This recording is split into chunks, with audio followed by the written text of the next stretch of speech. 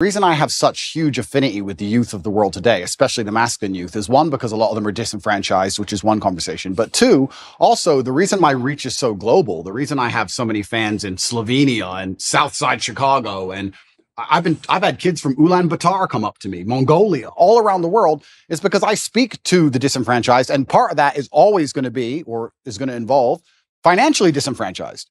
I'm, I'm someone who comes from absolutely nothing and made himself into something.